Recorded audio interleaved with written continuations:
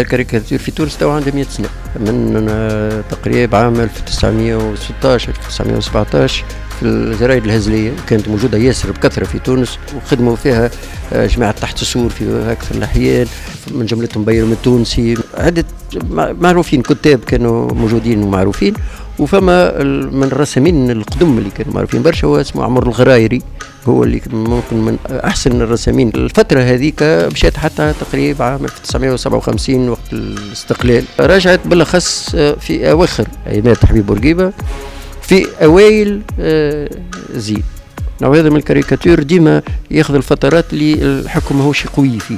بعد ثورة 2011 آه، آه، صار نقول انفجار تاع الكاريكاتير موجود بالأخص في مع في فيسبوك في تويتر في الحكايات هذا وبرشا صغار دخلوا في المعرج هذا.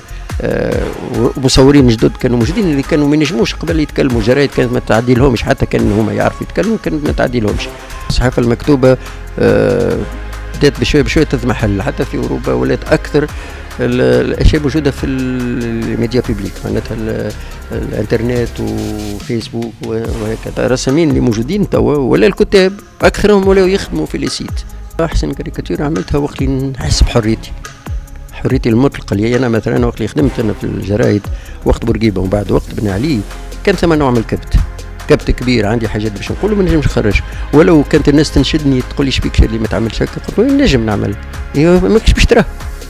بما أن ما تنشرش ما تتراش وقت صارت هذه الثورة الأخرانية ولقيت حريتي اللي عملته هذاك تو اللي نتشرف به أكثر من اللي سبق.